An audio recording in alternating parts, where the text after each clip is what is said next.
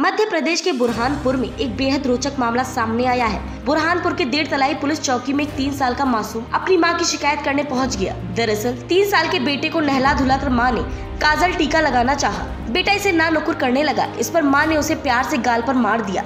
यह बात, बेटे को इतनी नागवार गुजरी कि माँ की शिकायत करने पुलिस चौकी पहुँच गया। बच्चे ने पुलिस से कहा, मम्मी मेरी कैंडी और चॉकलेट चुरा लेती है, उनको जेल में डाल दो। मासूम बच्चे की आज शिकायत सुन पुलिस सहित मौजूद लोगों की हँसी छूट गई। चौकी प्रभारी ने कागज़ उठाकर बच्चे की दिखावटी शिकायत लिखी। इस पर बच्चे को साइन करने को कहा। उसने भी पेन थाम कर कागज़ पर आड़ी तिरकी लकीरें उकेर दी।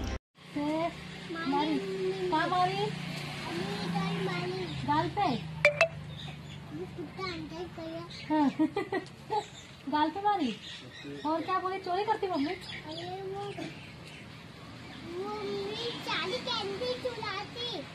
चुरा लेती है मैंने नहीं चोरी की वो अम्मी ने चोरी की अच्छा। अम्मी ने तेरी कैंडी चोरी की और क्या चुराया और क्या की मम्मी ने अम्मी ने? चॉकलेट चॉकलेट भी चुराई।